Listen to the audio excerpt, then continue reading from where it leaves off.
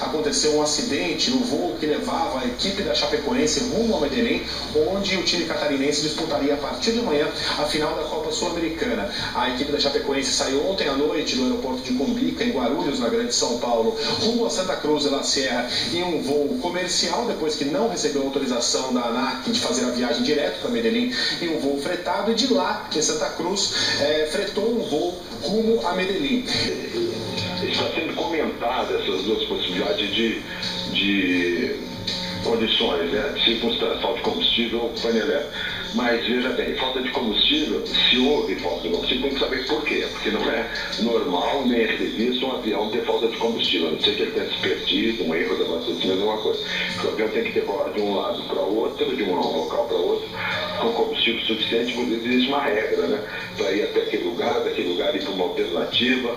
Nessa alternativa tem que ter combustível para esperar, esperar mais uma hora nas condições de voo que eles falam, mais uma hora na altitude mínima de, de, de aproximação, quer dizer, e mais o, percentual de reserva que o piloto não pode botar, quer dizer. Então, se tem falta de combustível, outras coisas aconteceram antes também que permitiram essa falta de combustível.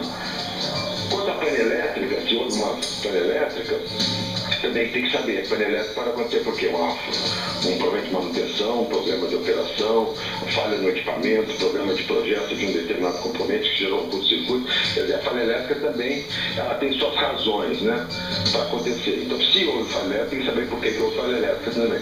Então, ah, por isso que, como você mesmo falou no início, é muito prematuro falar de qualquer é, causas provadas desse, de coisa do acidente. Tem